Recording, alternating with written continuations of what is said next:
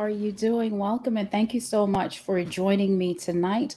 I pray that all is well with you. It's been a while since I have had the opportunity to be live. I I was not feeling well. I hadn't been feeling well actually for the majority of this month, but praise God, I do feel great and I'm so happy and excited to be here with you tonight. We are discussing dismantling the altar of deception, narcissists, and love bombing. Because don't you know that when you have an, whenever there is a narcissist on the scene, you are, you have to understand that there is deception and strong deception that is taking place. We, we discuss narcissistic abuse from a biblical and a spiritual focus so that we're able to not just heal um heal mentally and emotionally but holistically right body mind soul and spirit so i want to thank you so much for joining me tonight i pray that all is well with you and your families thank you so much um welcome and thank you for your comment looking forward to this conversation it's great welcome and thank you so much for joining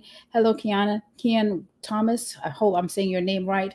Good evening to you, and thank you so very much for being here tonight. God bless you all. So, before we get started tonight, I just wanted to take a moment to invite you to join me to connect with me on social media. My my username or my handle on all social media platforms is Pink Girl Teaches. Right.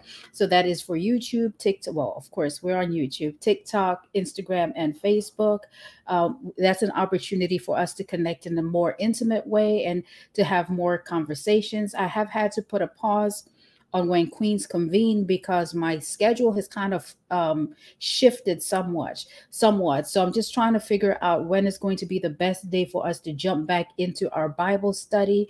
Um, when we do have when queens convene again we are going to be discussing athaliah from second kings chapter 11 and also um, second chronicles 22 and 23 so athaliah for those that don't know it is jezebel. She is jezebel's daughter. When queens convene as a bible study we study a different woman in the bible every month. So i want to thank you so much for being here. If you have not had the opportunity to hit the like button please do go ahead and do that as you come in.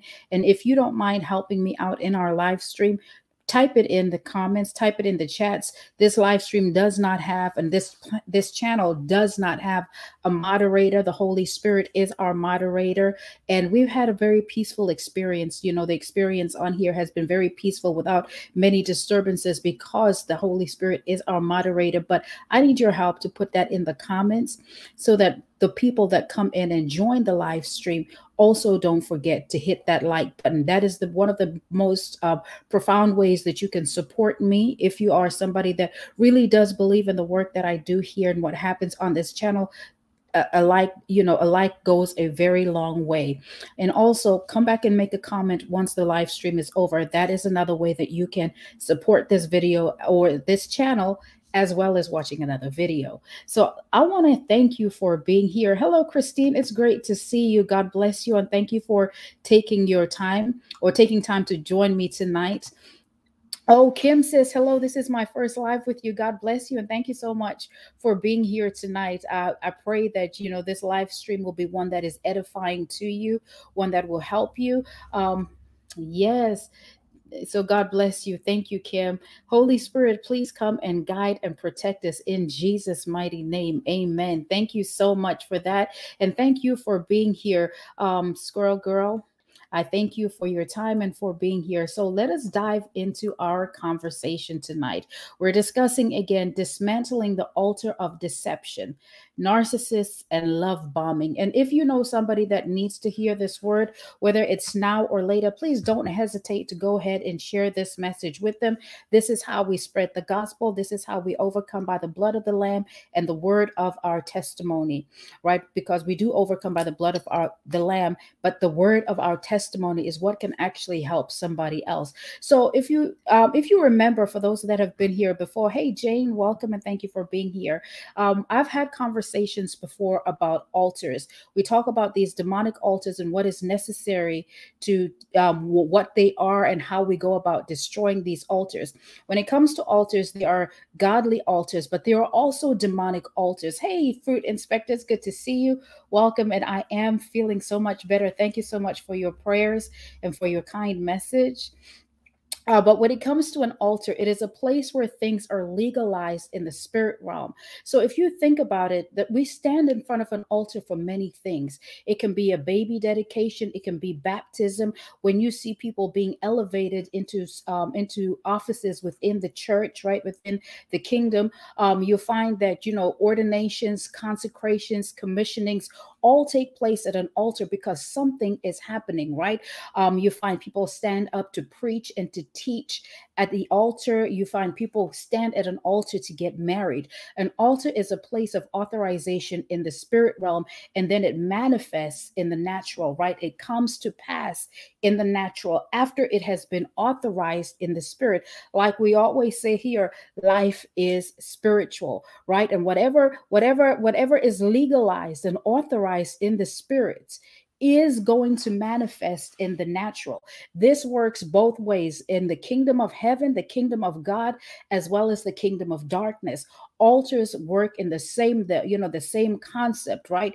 And so we have to understand that the devil didn't come to play nice with you. You know it's it's it's interesting. People will think that oh i wish the devil would get his neck off my you know his foot off my neck because i you know things are hard and why does he have to play dirty? Why does he have to be like this? The devil the Bible lets us know that he, he is a liar. He has been a liar since the beginning of times. The Bible also refers to him as the father of all lies. So why why would we think that, you know, if the Bible has described him like that, why would he suddenly change his MO and become a different person when he does the work of dece- of deceiving, when he comes to do what he what he really does, steal, kill, and destroy? He is going to be faithful to to his MO, right? So the devil will never at one point play fair. And this is why we have to understand that when we when we consider things that when we consider that life is spiritual right? And we have the presence of altars in our life whether you know it or you don't. This is why it's so important that we erect godly altars, right?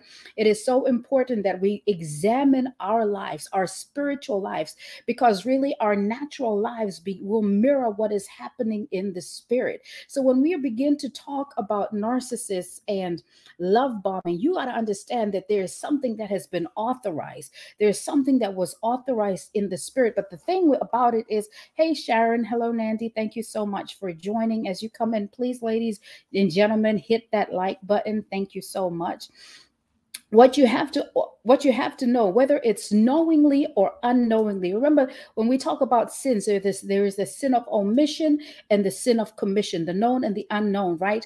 And so this why I would that's why I was mentioning the enemy never came to play fair with you. The enemy never came to play nice with you. His desire is always going to bring disaster. It's always going to bring turmoil. The enemy is not going to be satisfied unless he is unless he's really having his way unless he is doing what he came to do. So I, I, I need you to understand that, right? And I need you to not to not take it personal because it's really not personal. The enemy hates everybody. The enemy does not want a single person to thrive or to prosper. If the enemy could have it his way, we would all be headed to hell with him. We would all experience the same spiritual destiny as he did or that or that he has waiting for him because that is his desire. You got to understand understand the enemy does not like not a single one of us. And that's okay. We didn't come here to be liked by the enemy. That's not our goal and our desire. And it's also not to be the place or, or the thing that we focus on, right? So when we begin to be, we begin to think about, about narcissists, right? And how they come into our lives and they come along with this spirit of deception, right? Everything that the narcissist does from get go is deception. So, this is why we have things that are authorized in the spirit because we don't even know that we're walking into spiritual warfare. We don't even know that some of our agreements, right? Because you got to understand your agreement is so crucial. Your agreement is important, right? There is power in agreement, and the enemy comes for your agreement. But the thing about it is, you don't have the full facts, you don't have the whole story because the narcissist, as we know, is lying. The narcissist narcissist is scheming, the narcissist comes in love bombing you. And let me say this love bombing is not a flex. I remember a few weeks ago, somebody left a comment saying that oh well i love bomb my my my my partner or whatever she said and there's nothing wrong with it. Love bombing is always going to be toxic because it's a form of emotional abuse and it is manipulation. You know there's such a thing as doing things for each other and being reciprocal in a relationship. There is a way that we can demonstrate you know our interest as well as our intentions in a relationship. That does not mean that we manipulate people. It does not mean that we exploit their emotions it doesn't mean that we engage in witchcraft because essentially that's what it is. But where there is love bombing, you got to understand that it is a strong spirit. Number one, it's a spirit of delusion because uh, the enemy wants you delulu. The enemy does not want you to have a straight thought. The enemy does not want you to have a sound mind. And that's what the Bible tells us to be sober. The enemy, the, the Bible tells us that we must have a sound mind, right? But how do you have a sound mind when you're when you when you have this spirit of deception and there is a covenant with with the spirit of deception. So now this is we this is where we see that this demonic altar is being empowered because the narcissist will continue to do the work to feed that altar. The narcissist will continue to do all things to keep you constrained, to keep you bound and tied and chained down to this altar, right? So this spirit of deception, we know that it comes from the devil. Um, when we're talking about love bombing and what happens is the narcissist comes to play on your mind right? And so even though i'm saying narcissist please understand that it's very interchangeable. When we're calling the narcissist or when i'm beginning to use the, the word devil you got to understand that i'm now referring into the i'm talking about what is happening in the spirit realm. I'm talking about the one that is actually commissioned the narcissist to do that work right? So and we know we understand that they are agents they are agents of wickedness. They are these are the devil's foot soldiers the devil's missionaries right? Because listen for for things to begin to manifest or to happen when it comes to the you know um spiritual warfare and for them to begin to manifest what has to happen the enemy needs a body the narcissist provides that body, you know, that person provides the body so that the demonic forces can have an outlet or a way to operate, to strike, and to attack in a physical sense. So when we begin to see how love bombing plays or takes takes effect, is it starts with your mind yes it's going to trickle down into your emotions because you end up getting those those you know those those hot feelings. You begin to feel oh i got a crush on them. I like them. You know your emotions will play a part but the the assault starts in your mind.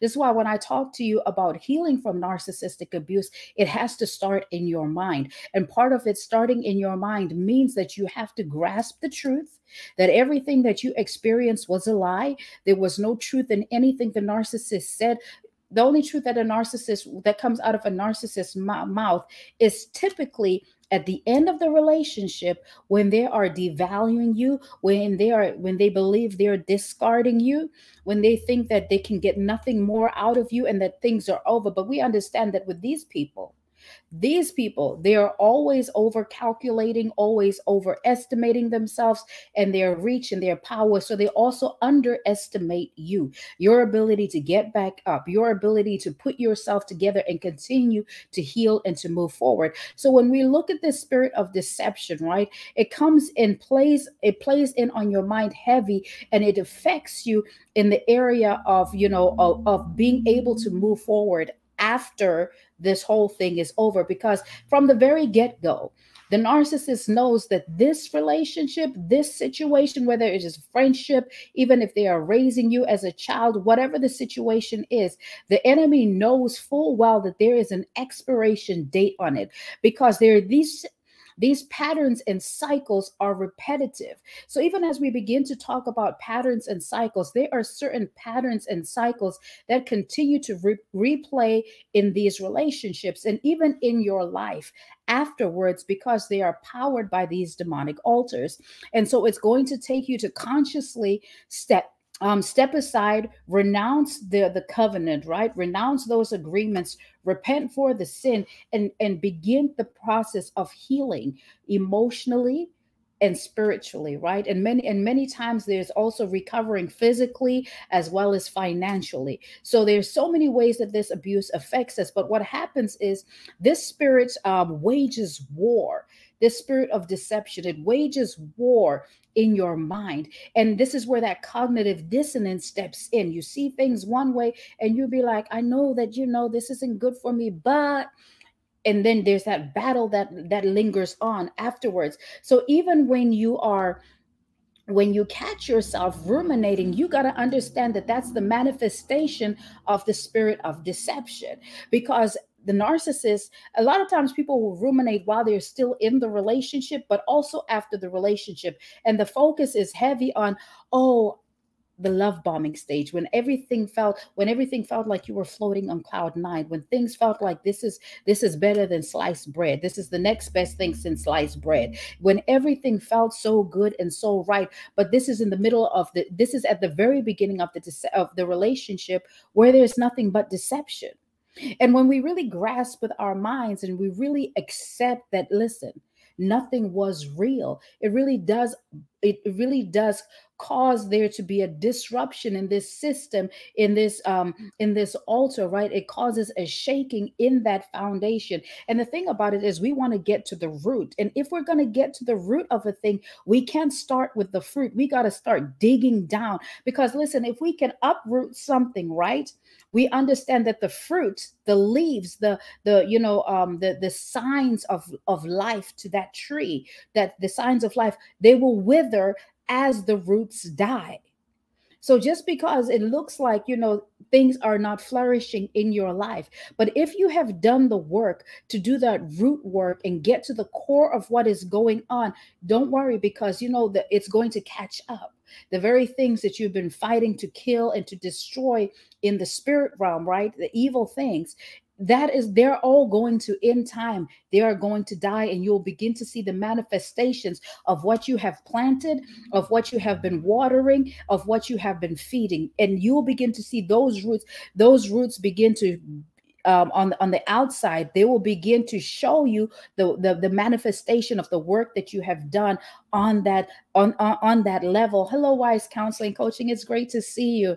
I pray that all is well with you. God bless you and thanks for being here so when we what what you got to understand about the spirit of deception right? This spirit really comes to consume the lives of the uh, you know it comes to consume your life and eradicate the peace of god. Because listen the, what happens with these relationships there's so much back and forth and that inner turmoil that the narcissist brings. How does the narcissist bring the inner turmoil? Throughout all the devaluation throughout all the crazy making throughout all the sleepless nights throughout all the lies and then then your mind goes back to, but you know, what happened to this person?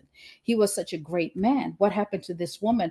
No, that was just a great show. That's all it was. They sowed a seed in your mind, and now the real McCoy is showing up, right? So it causes, you know, it causes, it causes there to be um just some type of confusion in your mind because of what is happening. But this this spirit like i say the spirit of deception um let, let's talk about some signs of the spirit of deception right? Being stuck in the same spot and you tend to experience a lack of progression right? And this is also consumed and powered by that demonic altar but also the lies that the enemy tells you. This is why it's very important that during your season of healing right during your season of growth because this is what it is. Your healing should lead to a place of growth, personal growth and development, as well as spiritual growth and development. What the enemy doesn't want you to do is to grow. The enemy wants to actually cap your growth. The enemy comes to stunt your growth, and he does this by the lies that he tells. And this is one of the things narcissists do so skillfully is that they speak lies into your subconscious mind all day, all night. They constantly feed you with lies about who you are, lies about your destiny and and also just their behavior. It's so contradictory. A lot of times they have multiple lives right? Multiple lives. And sometimes people think how is it possible for somebody to have to have three and four lifestyles right? Three and four families for some people. But this is you got to understand that they're getting supernatural strength from the kingdom of darkness. And the enemy is always going to empower right? Think about that demonic altar. And let me say this one of the reasons why the enemy will continue to to strike you with abuse or or you know with different um attacks from the narcissist. And when i say different attacks you know you can go through a season where they're gaslighting you. Then here comes the devaluation and the projection. When the narcissist the narcissist continues to dig into their demonic toolbox so that they can they can inflict more pain in your life this makes the devil very happy because number one the devil feeds off pain.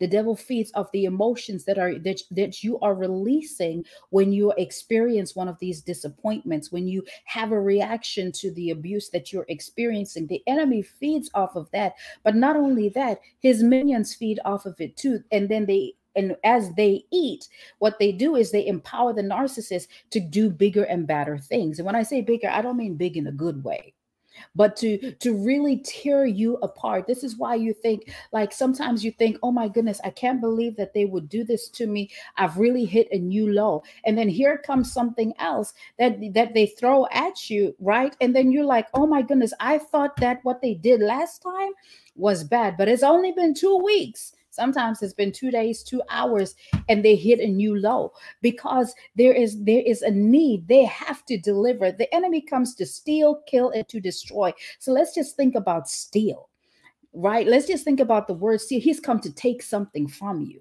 He's come to to to to to cause a, a robbery. He's come to to pull away from you. Sometimes it's your virtue, right? Sometimes it's your mental faculties, your ability to think straight. They come to a, exactly come back seven times worse. That's right, Nandy.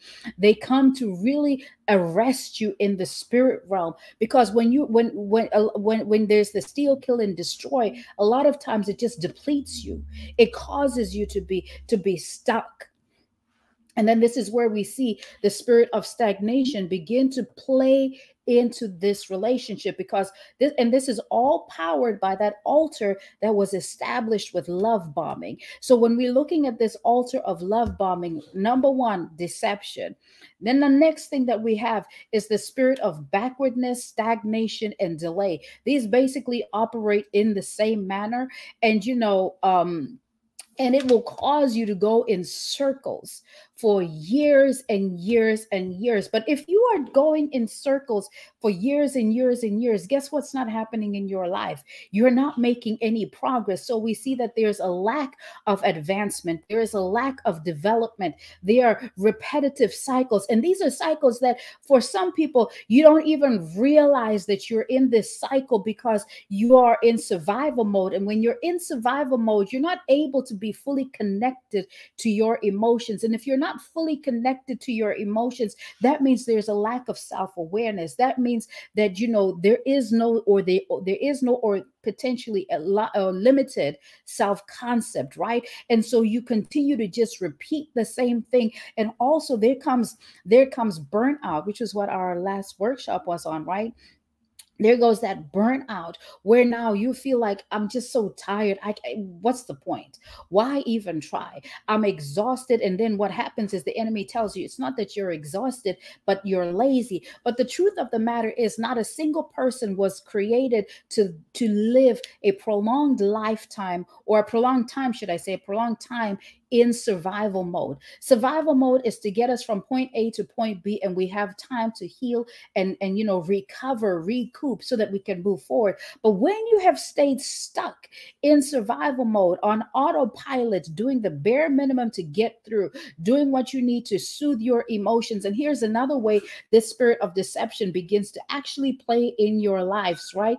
The enemy will whisper in your ear that oh, you know what, listen to what listen to what culture is telling you it's okay for you to spend up all your money going on a shopping spree because it's retail therapy. Those are lies. Those are lies. And a lot of those things, retail therapy, some people uh, become workaholics, some people turn to alcohol, some people become promiscuous because they need the intimacy and there's a lack of intimacy, but they fail to realize that intimacy starts way before you ever get into a bedroom. And all that you're going to experience um, in the bedroom is a manifestation of the work that you did it out. But because you think and you've been deceived to believe that a warm body next to you is the epitome of intimacy, the spirit, that altar continues to be powered. And so you see people that just have a loop of relationships. They have, they overlap relationships, never allowing themselves the time to breathe, never allowing themselves the time to regroup and recover. And this is where you also see for some people, it's narcissist after narcissist. Here come a psychopath,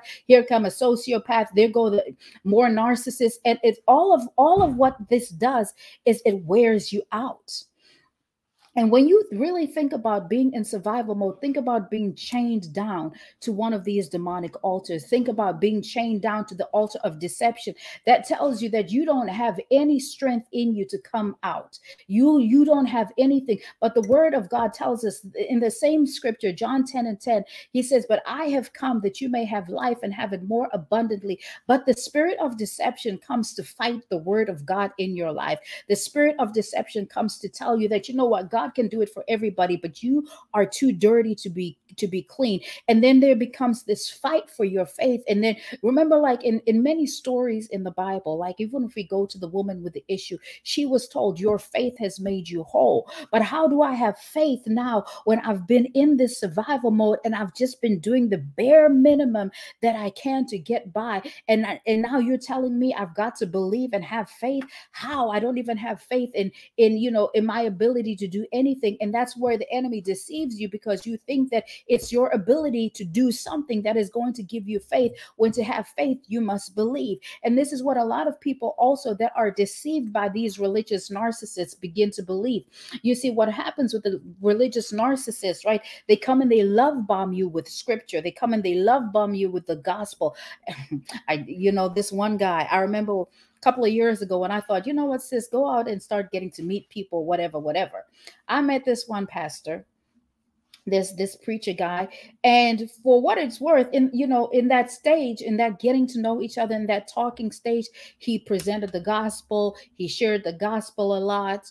Um there was always the, the love bombing was there right? When i look in retrospect the love bombing was there but you know when things just didn't add up i was like dude bye you're not going to waste my time. So we didn't talk for too long, but the way he came with the gospel, right? And thankfully, I was able to discern him for what he was. But what I want to say and why I mentioned that is that a lot of people will fall for for the religious narcissist, right? Because we, we want a man of God, right? and we want this or we want a woman of God. You want a woman of God. You want somebody that you can share your faith with. But the the enemy knows exactly. He knows your desires, and he sends you that bozo before the Boaz. He sends you. He sends you that curse when you should be receiving a blessing. All of these things to tie you down and to chain you. And what you got to understand is a narcissist can tell you I don't care who they are a narcissist, psychopath, sociopath. Any one of them can come and tell you that I am a believer in Christ. And they may believe in Christ. That doesn't mean anything. They I believe that the sky is blue. So they can also say that, yeah, I'm a believer in Christ. But what does it mean? Where is the fruit of that? Where is the evidence? And this is why we you you can't allow yourself to be sucked in by what they present. You know, um you got to be very careful because you know what what they're coming after is their lustful desires right? They have a desire to feast off you spiritually, right? They have a desire to feast off you physically, financially, emotionally, psychologically. They've come to siphon, they've come to suck. Y'all, you know, they talk about narcissists being energy vampires, right? I've done several visit videos about narcissists being soul hunters. They literally come to siphon your virtues. And why does this happen? Because the enemy, once those virtues are siphoned, number one, you become stuck. You go back into that survival mode because something has been stolen from you. And a lot of times you're unaware and you begin to go around in these circles, right?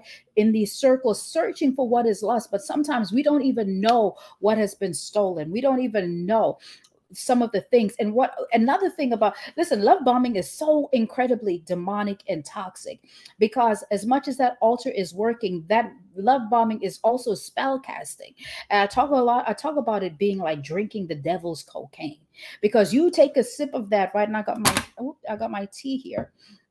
You take a sip right?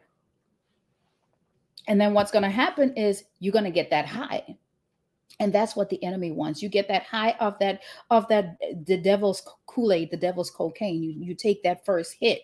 And because that high does whatever it does and it feels good and this is why it's so important for us to heal family. It's so important for us to heal because you got to recognize that narcissists never appeal to the adult you. They always p- appeal to that wounded inner child. They will appear to your to your soul wounds right? To the core hurts and that's why it feels like we make such a strong connection because they're actually hitting on your pain points. And how do they do this? The work of familiar spirits. This is why we talk about this is spiritual warfare. You know, when you're born, right? An angel is assigned to you but also the enemy will assign his demonic angel his his angel of darkness and so you've got to be very aware of it hey shannon it's great to see you yes i'm trying to figure out where i'm going to be going live um, because my schedule has changed now so i'm just you know trying to figure how this is going to go down. But thank you so much for joining. Hello, Beauty B. Thank you for being here. So, what happens is um, I'm not I'm trying to where was I? so what happens is we're talking about we're talking about that love bombing, that devil's cocaine. That's right. So what happens is the narcissist or that that that first hit, the elusive first hit. If you talk to a junkie, they're going to tell you that the first hit is always the best and they stay chasing that first high. But that first high is never or the next high that right every subsequent high after that is not going to be as potent as the first one. And so that's that's but they continue to chase it. So, what the enemy wants you essentially to do is turn into a spiritual junkie, into a love junkie, always seeking that next hit from the narcissist. That's why a lot of times when they devalue, right, and then suddenly they become nice, it feels good because you're getting another hit of that devil's cocaine and it feels good and it's like oh okay so he still loves me and i still have a relationship and everything is still good and so we continue to go forward until we're desperate for the next hit. And this is that cycle the the this is where those those soul ties are reinforced that trauma bond that back and forth with the the, the love bombing and the devaluing. And it all makes you crazy like it drives you crazy. It is it is insane how it makes you feel and i'm testifying to that it is insane. But you have got to be, you've got to be mindful. When when I said to you that a narcissist, a psychopath, and a sociopath will tell you that I am a believer, ask them, what does it mean to be a believer? And these religious narcissists are going to hit you with lies straight from the pits of hell. They are going to tell you, I am a good person. We know that it's not good. They say, I give to charities. And for some of them, yes, they do. The only reason they give to charities is because it's a tax write off for them. So they're getting everything back. So the reason they give may not be why you may give. You may give because you want to help somebody. So it doesn't have to be something that they that you can write off right? Because you, not everybody is able to or in a position to that that receives donations is in a position to give you that tax write off break right? Because of the way it's structured. But they will give where they know that they can get that money back. They will tell you i've been baptized. That's not a lie. But for them there is no emotion attached to it. There is no commitment.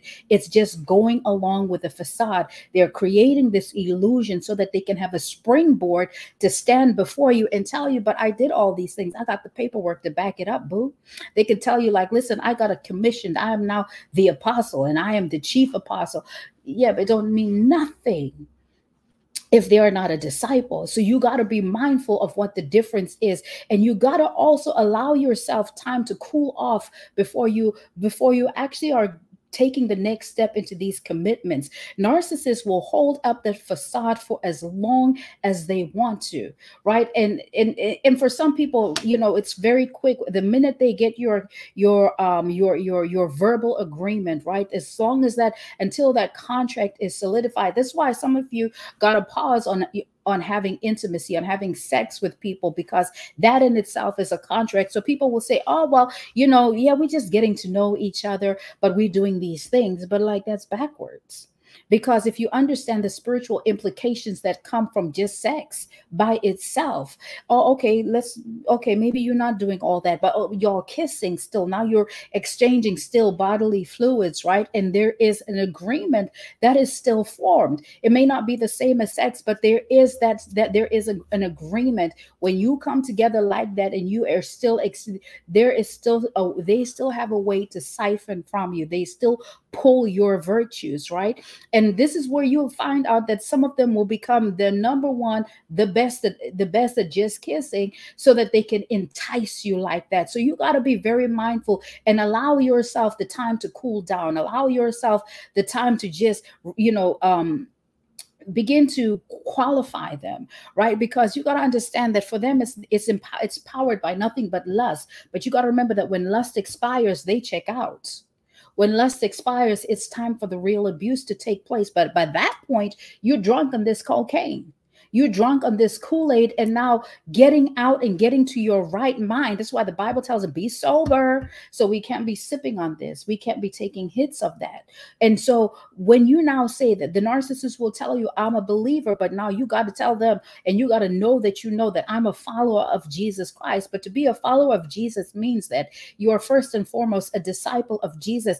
And so that means that you are a wholehearted supporter of Jesus, right? You're a pupil, you're a student of the word of of God. You're a learner that holds fast to the teachings of Christ, to the teachings of the Bible. And you are actually going through with a heart change and a heart posture that is towards Him. It's no longer to the flesh, it's no longer to your carnal desires. You're willing to crucify your flesh, you're willing to present your body as a living sacrifice, right? So you got to, when people tell you that they are a believer, just examine the fruits just examine the fruit. And these are things where we can also take another step further and really be prayerful about these things, right? There's nothing wrong with pausing and taking time to pray before moving forward in a situation, praying and actually waiting on God for the answer, even before a date, even before whatever.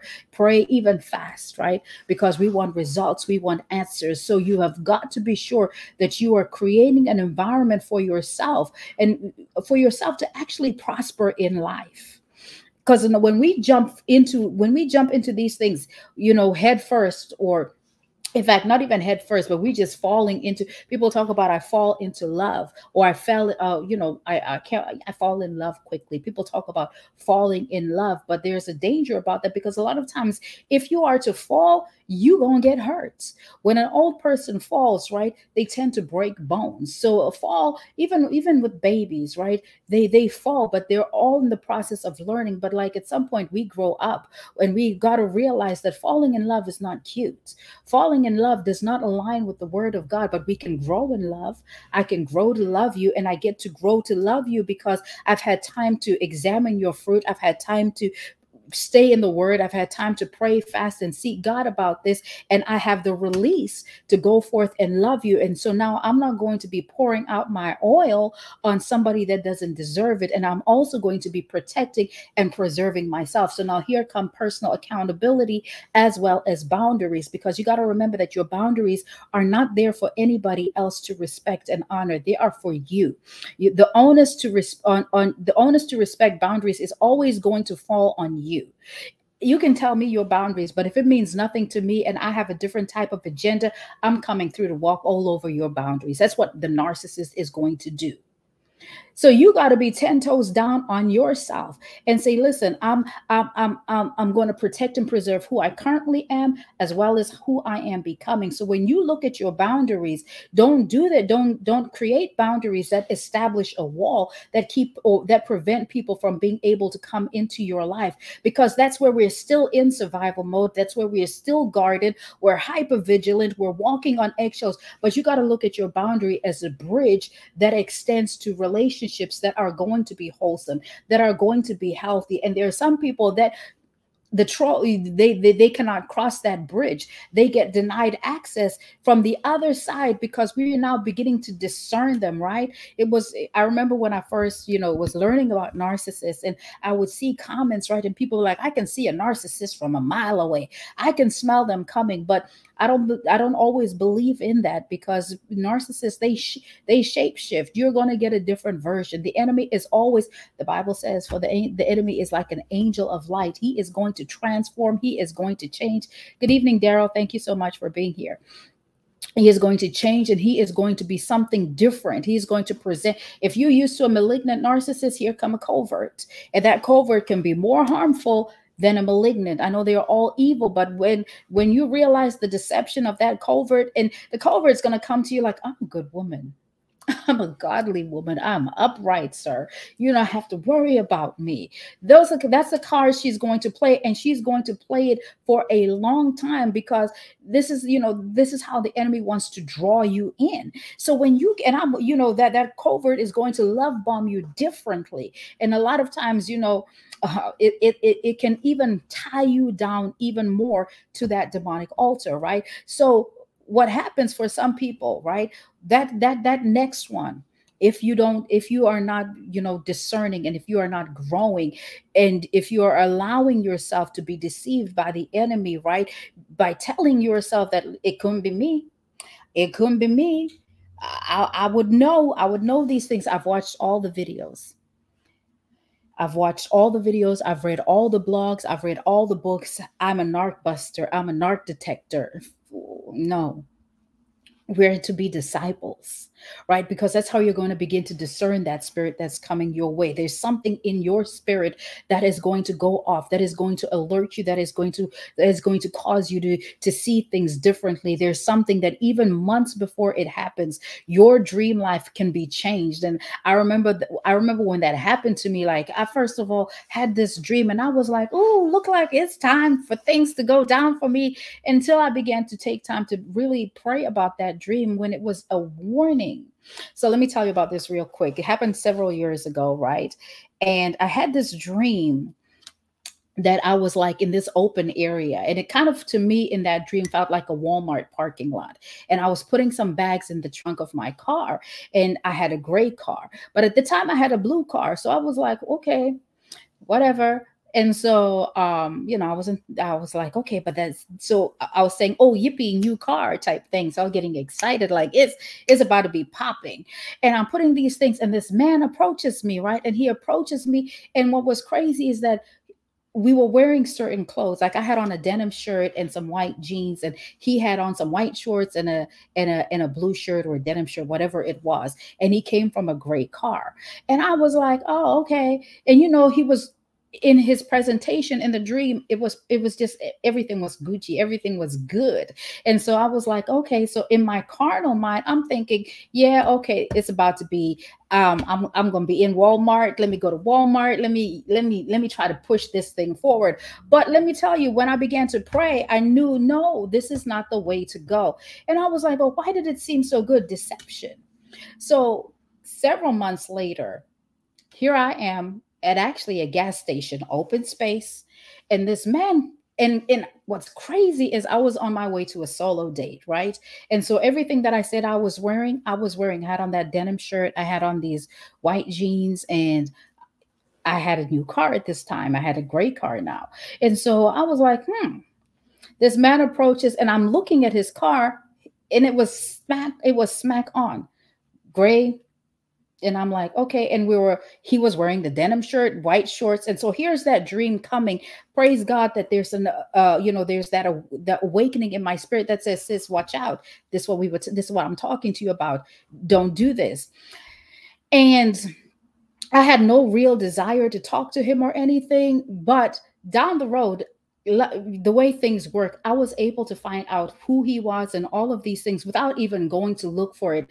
And child, if Dodge the Bullet was a person, it was me in that moment because a whole sociopath whole sociopath but I, I was able and i was fortunate and i'm thankful that i was able to see that experience without experiencing that experience. So what i'm trying to say to you is that there are ways that when we are actually walking in alignment that the spirit of god is going to alert us that we don't have to fall down and in, in these pits. You know we have these prayer points sometimes where we can say like you know if it's time for me to be aggressive or whatever right i'm going to command the strong man to come come forth, fall down, and die. Right in the name of jesus. But what that strong man wants you to do is come forth as in that situation i just described. Fall down fall down in love and die right? Die of disappointment die of depression die in stagnation die unfulfilled die without ever experiencing the abundant life that god has for you because of this love bombing right? So you got to be very mindful that you have to afford yourself the opportunity to actually pray. We shouldn't be making decisions about partnerships and about getting involved with people before we actually present these things to our Father, before we actually allow ourselves the time to pray. And the thing about it is, if you stay ready, you don't have to get ready, right? So you may not have seen it coming, you may not have dreamt like I did, but there is some way that the Spirit of the living God is going to tell you because guess what? He protects you, He loves you. The Bible tells us that the Lord is my shepherd. So you examine the role of a shepherd. Number one is to protect. So much so that he leaves the 99 to go after the one. So think about that level of protection that he has for you, that he desires for you. And so we begin to shift our mindsets, right? And not just our mindset, but our heart posture. We got to be true to this, right? Because we understand that life is spiritual, right? So don't believe them just because they tell you that they are a believer. You got to examine the fruits. Don't get in the habit of asking questions. What the enemy never wants you to do is ask questions. Ask questions. And sometimes, even when you are talking to God and you are asking Him questions, why me? Why me? Why me? Rephrase your, eh, and if you are not getting answers, should I say, let me say that first. You're asking the same question, but you're not getting an answer like He is quiet. Rephrase your question. God, now that this has happened several times, what are you teaching me? What am I missing? What is the lesson? Rephrase that question. And a lot of times, or oftentimes, if not always, you are going to see that you get your answer because now you start asking the right question, right? So, why me may not be the right question because why not you? If his own son, his only begotten son, was was crucified, why not you to experience some things so it's it's important to rephrase that question sometimes right so let's continue to go on about this um dismantling this altar of of love bombing right? So another thing we talked about how it brings forth how it brings forth or how it empowers the spirit of deception in your life. And that this where this where let me let me say this about the spirit of deception before i move on. One thing about the or some things about the spirit of deception is it comes to make you have trust issues. It comes to make you suspicious that you doubt everybody around you. And we see this where people will always believe that the world has more narcissists than good people. People will say oh there is more you know there's narcissists everywhere. When sometimes it's really not narcissists everywhere but the enemy and the deception think about that demonic altar that what was legalized at that altar is being empowered and we're seeing the manifestation in your life when you believe that you can't trust anybody.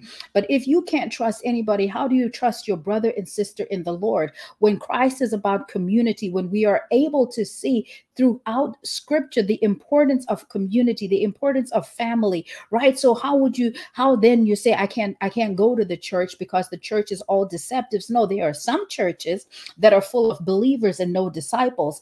But we once we discern that we got to be willing to separate ourselves from those and go where they are actual disciples so that we can grow, right? And we grow in community. And one of the things you got to understand about a, a, community of faith is they enrich your life. They edify your life. It is it is lonely to go through life without believers, without people that you can gather with, without people you can you can't break bread with.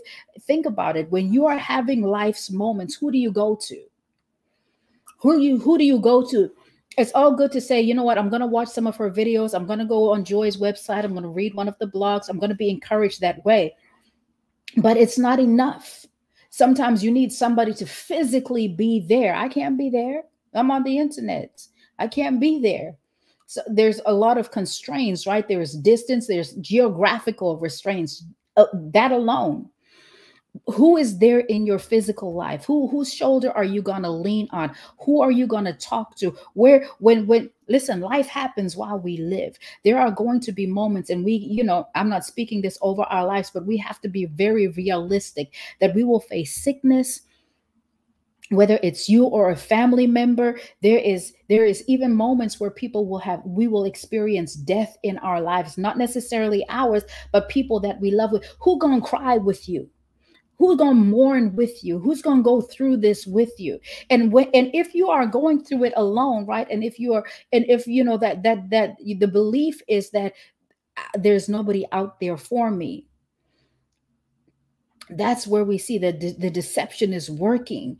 Maybe that group of people those group of people were not right for you but there is the world how many are we like 8 billion people now 8 plus billion people and there is not one person that can really have your back? The devil is a whole liar. Do you know what 8 billion people is it is a massive number, but the enemy wants you to believe.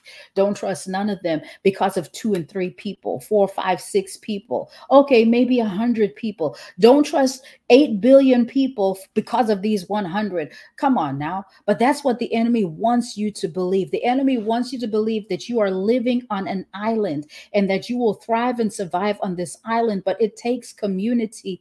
Absolutely, community is different. It is different, and you, it, it's it's an it's a beautiful thing, and it's it's a blessing. The Bible says, "How can two walk together and except they be agreed?" Right? The importance of two. The number two in itself represents unity. The Bible Bible even talks about that is, you know, two are better than one because if one is cold, the other one can warm them up. Like, come on it is so important. So you have to have to be mindful about building a community. You have every right to to to fully qualify that community run them through the process of, of you know however your process works. It must include prayer and fasting right? And being focused on the word of god to be make sure that you're really examining the fruit so that you also can begin to thrive you can also thrive in community. And here's the thing a lot of times we think about oh you know we we scared about what can be stolen from us because narcissists steal kill destroy.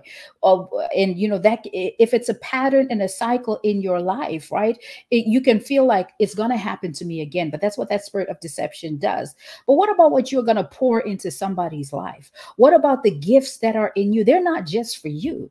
And i'm not even talking about these these these spiritual gifts. But for some of you gift of hospitality some of you your smile is so incredible that it lights a room and it brings joy to somebody. It brings healing to somebody. Some it's your very presence because the light in you shines so bright that others feel the warmth that comes from that light. So there are things that you have that you need to give. Listen remember the parable of the of the of the talents don't don't don't be caught on judgment day being asked like what did you do with what i gave you? And you're like well i kept it because i didn't want them to steal from me. 100 versus 8 billion like let the math math. But this what the enemy wants you to do is to not trust so that you can turn out to be a loner. But let me tell you, if we're in a desert and there is one person there, you are an easy target for the enemy. He will strike and hit every time. Versus if you are in community, how is he going to when we all lift up the shield of faith at the same time? Those fiery darts must return back to where they came from in Jesus' name. So how are they going to get you? Because you have the you have strength, you have you have um, power in community. Hey, Stephanie, welcome and thanks so much for joining. So, so this is this is the things that you know that spirit of deception comes along to do. But then let's talk about the spirit of backwardness stagnation and delay right? We talked about the lack of development the lack of advancement repetitive cycles. And for some people it's that spirit of almost.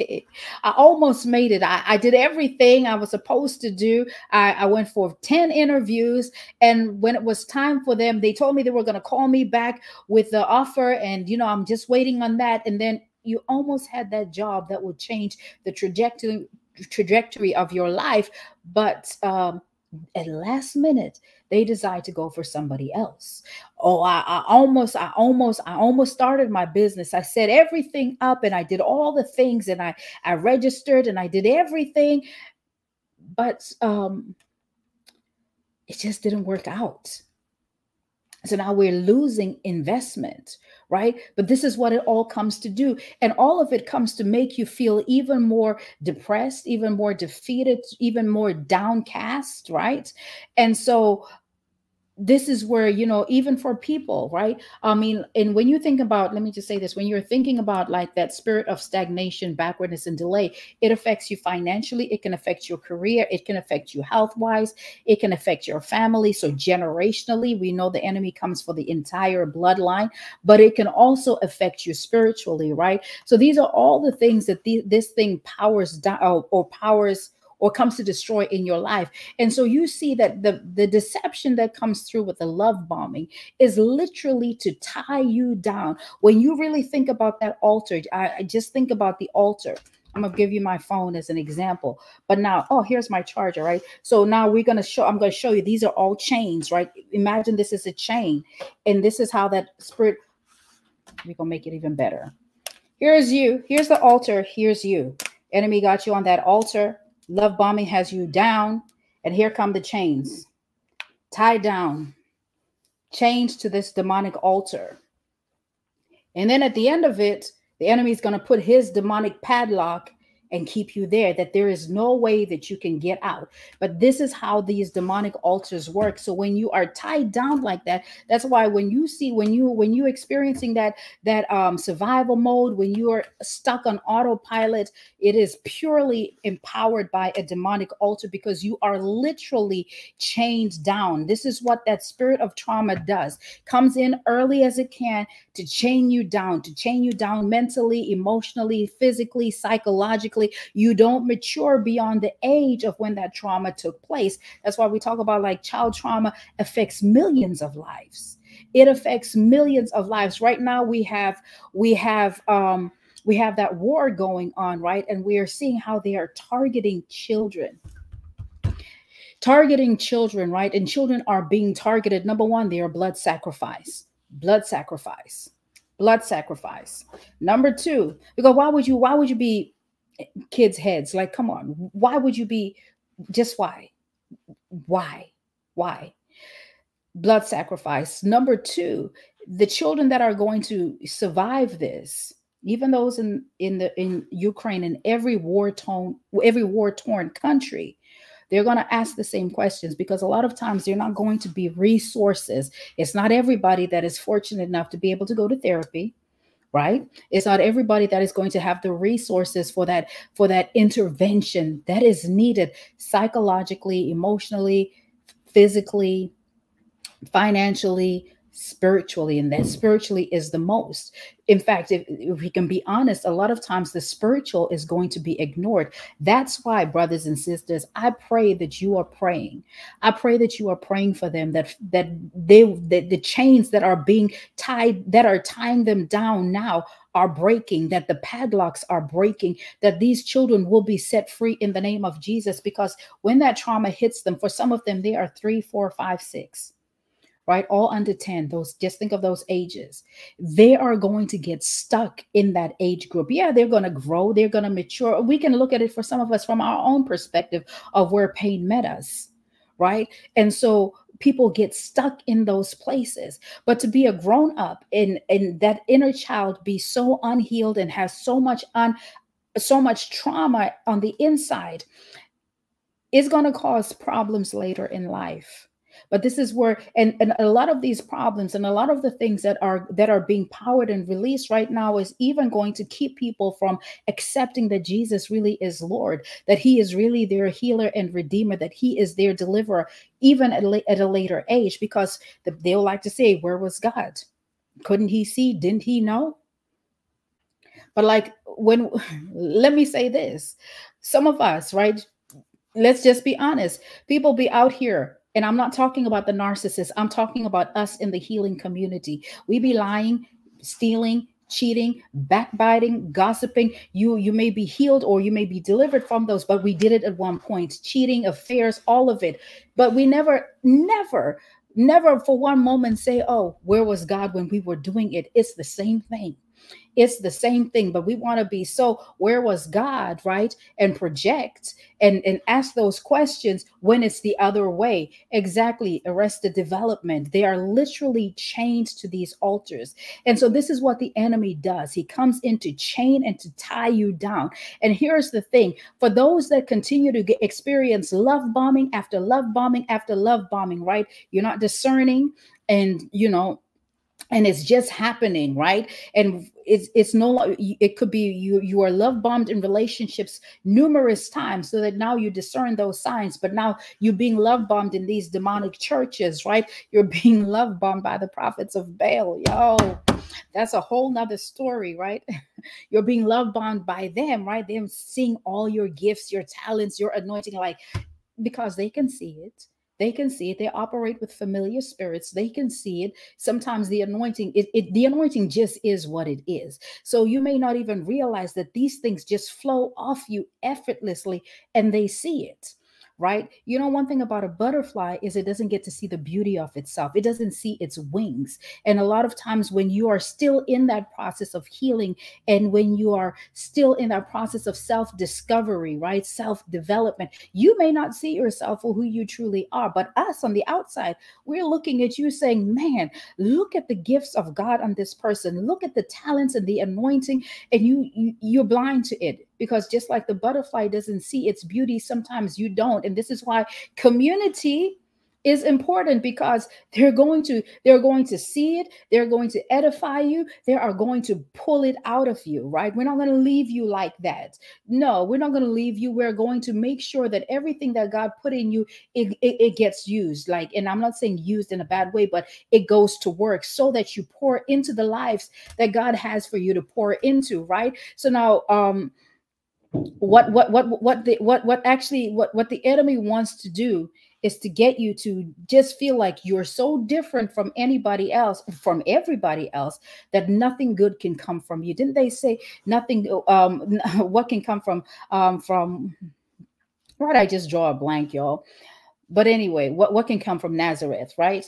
But like listen this what the enemy wants you to think. And so even now we see how that that these these these altars of deception they end up leading to um, addictions love addictions. So you go from this this narcissist to that one to that person to this one. And this where also you begin to see that listen you you get used to the highs that come with the love bombing even though they may not come from the same type of source. What do i mean? It, it may not be an intimate partner it may not be a spouse but now like i was saying it could be the prophets of baal. It could be your workplace.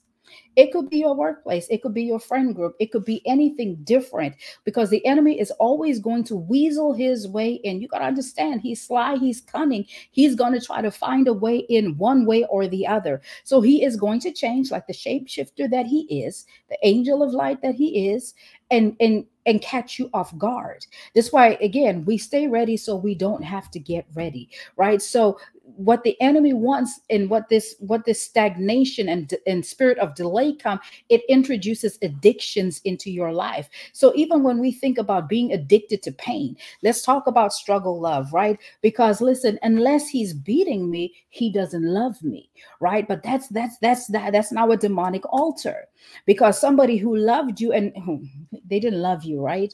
But who who professed to love you claim to be on your side, right? And claim to be there for you. But now they're socking you in the head and telling you it's because I love you so much. You had me enraged. I was so jealous. I had to communicate that to you as if there are no words and all the words in in every language have expired. No, there is a way to communicate love, but because that's their assignment, you got you got to understand that that's their assignment. And somebody that hits you, nine out of ten, this is not their first time. You are not their first victim they they already know how to how to play the role to throw in that first punch.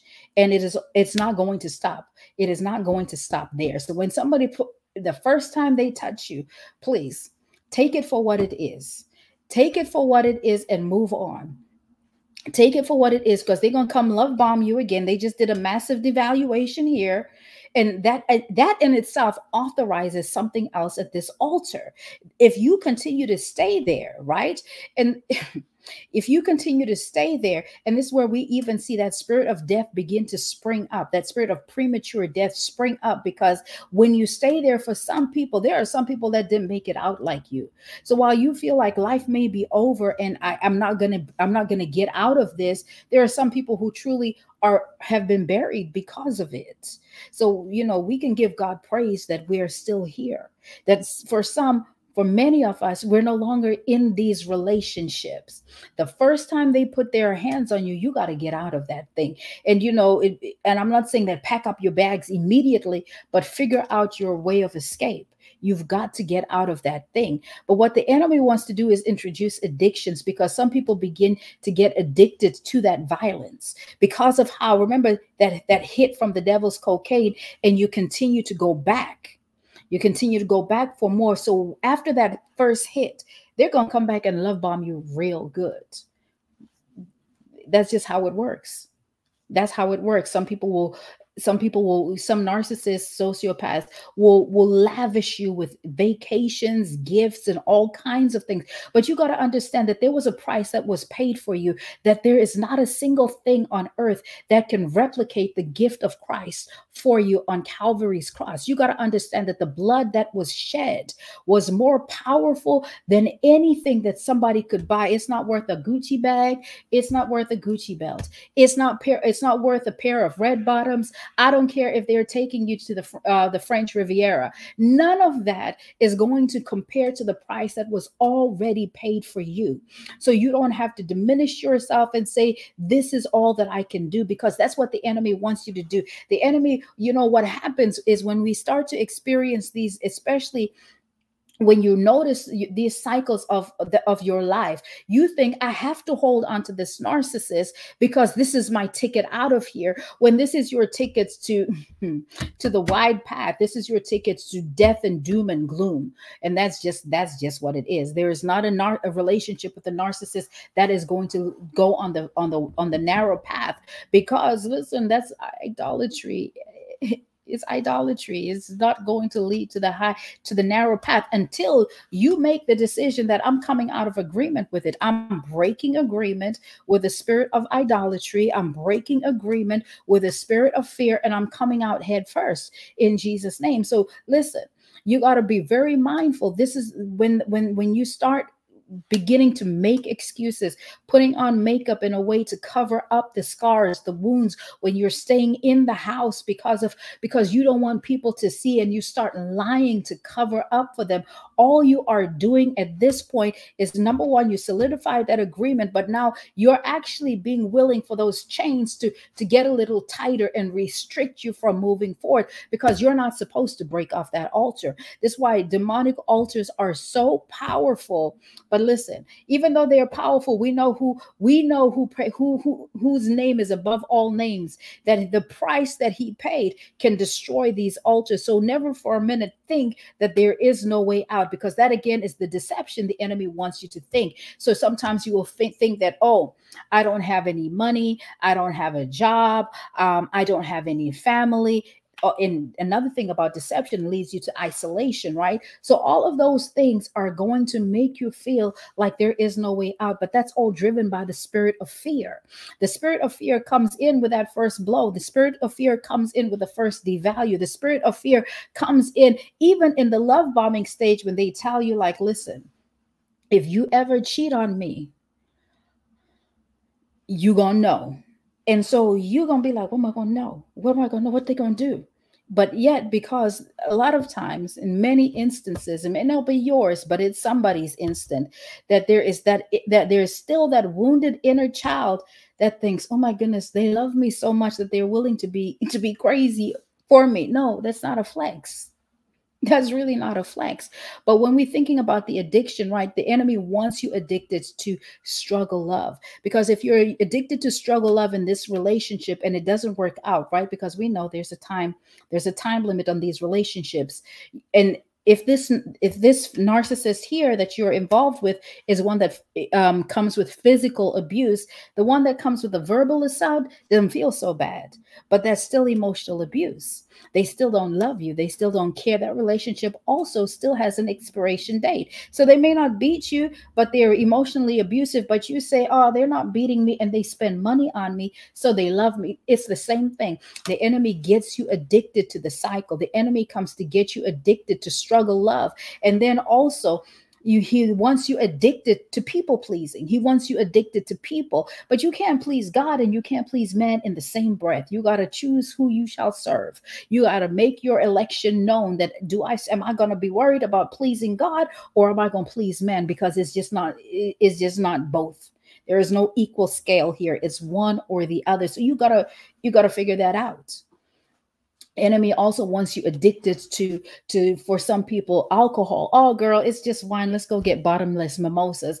But how are you going to be sober off bottomless mimosas? And i'm not coming after you know if that's your thing but i'm just uh, we're just talking here. There has to be a limit because we're talking about addictions. And the thing about addictions is this is how strongholds are formed. So we got to be sure like listen uh, what are we doing? And you have to we have to get to the point where we mature spiritually and start asking ourselves those difficult questions right? There's that addiction i mentioned it earlier to sex right? Where we now where we now have people that will overlap relationships because the best way to get over somebody is to get under somebody. The best way to get over somebody is to get on top of somebody but in what worlds? What because what what was done was done internally. It wasn't done physically right? The assault was on your soul, not your body. And you got to really realize this that it literally is a war for your soul.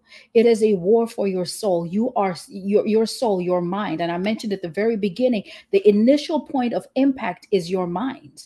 Whoever has whoever has control of your mental faculties owns you whoever whoever you are listening more the most to is going to influence you one way or the other. So you got to be careful about what you're allowing to go in you because it's going to come out through you I'm, I'm trying to tell you, you got to be very mindful of that. So even when you begin to, when we even talk about the addictions, we were talking earlier about that retail therapy that, oh, I'm just going to go shopping, girl. It's retail therapy. Like I'm going to feel so much better after I have all these 99 shoes and two feet and nowhere to go in these shoes. But now I'm just being reckless with it because now we're being irresponsible with what we should be stewards with, which is our finances. Let's talk about it let's talk about it. These listen, these are just it just is what it is. Sometimes we just think, especially we remember when we were on lockdown with that pandemic, right? With that pandemic when we were all on lockdown. Amazon was booming because everybody was just charge it, charge it. Let me go online. Let me go Amazon. Let me get it. Things we didn't need.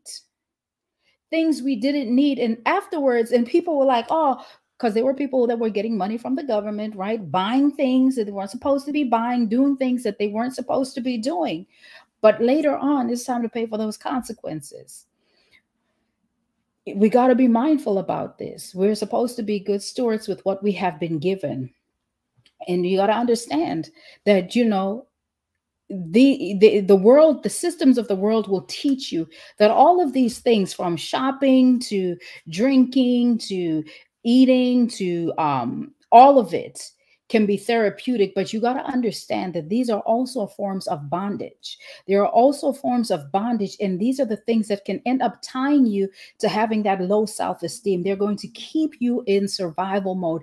They're going to keep you from showing up as who God said that you are. And so, this is where you got to look at this now as a fiery dart from the enemy. And you got to ask yourself, like, listen, am I going to, am I going to keep on taking these darts, or am I going to have the courage to pull them out of my back and fight back because this is what it is. When you start looking at the patterns of your life, and you got to be honest about yourself and take stock of where am I right now? And we may not know how we got here, and that's okay, but let's talk about where am I right now? And when you begin to find and you begin to identify the patterns in your life, when you begin to be honest with yourself and you are actually very prayerful about where you are, a lot of times, you know, I, I remember talking to a young lady, went from a malignant narcissist to a covert. This man, it's so crazy sometimes when you hear people's stories and and you hear the heartbreak in their voice you hear the disappointment and the pain. The relationship was about 18 months long. It wasn't that you know it wasn't that long but it was 18 months long. But it was mostly love bombing throughout the relationship. Why was there love bombing throughout the relationship? Because we were on lockdown we were on lockdown and people had time to do stuff. People had time to do stuff online. We can't we can't meet because it was it was a wonderful time for the narcs. We can't meet but let me tell you all these sweet things so that when i come do what i do you're gonna pay for it. So when you think about it and how i had to explain it to her is like that altar that was set there was was deception and every lie was another was another chain going around you. It was another you know it was it was another another round of this demonic chain chain that was tying you down to this altar, literally keeping you bound. Because even though that relationship was only 18 months and you know how they say well um, people ask well how long do i have to go through how long do i have to feel these emotions she's still going through with it. She's still going through because of all the things that were piled onto her. Yeah, you can do the work and you can you can do the work and you can begin to untie yourself. But when you untie yourself, there's a pattern that it needs that needs to happen. I'm not saying you have to get it all together, but there are different things, there are different layers, there are different, you know, with each loop of a chain, it's one thing. So it's deception, it's it's fear, it's abandonment, it's rejection, it's sorrow. But when this is is a pattern of your life. She was at the point where I'm just tired. I'm depleted spiritually. Now we begin to see how your virtues and the importance of guarding your heart. Listen, guard your heart. It is so important because listen, the heart the seat of the emotions, but in order to get to your heart, they got to run through your mind first. So you got to filter what people are saying. And when I say filter, I'm not talking about filter with your girlfriend. You got to filter it with the word of God. There's nothing wrong with talking to your girlfriend because God knows I'm going to call up my, be like, girl, did let me tell you. But you got to filter it with the word of God. You got to sit with it in prayer and take that thing in to God in prayer because it's one thing to see somebody so talented, so anointed, and with so much potential be so um, despondent because because at this point after all the everything that she's been through up until this moment up until that covert right? Up until the good guy because that was his game. He was like i'm a good guy. I'm a good guy. I'm a great father. Post all the pictures with the kids on social media. Good father where? But you know when when the lies the deception really sets in you got to start confronting that with the truth. But the fight you got to understand again the battle for your soul right? And the battle for your soul you've got to fight so many different things off. It's not just the deception. It's not just the backwardness because what happens is another thing with the backwardness when you ruminate you got to understand here go another fiery dart. Rumination is not okay. I don't I, I, there are so many channels that will talk to you about rumination being part of the process. And I understand that, you know, as part of the process of healing, you got to be able to reflect and where did I come from? How did I end up here? But we don't stay there. We don't park our car there and just sit there. We got to keep going forward. The Bible tells us, yea, though I walk through the valley of the shadow of fear. So it says, yea, though I walk through through the valley of the shadow of death should i say. You walk through you don't just stay there. You got to keep going. The problem is the enemy strikes so hard that he knocks you down. Remember when i said that you know we be praying sometimes that you know let the strong man fall down and die.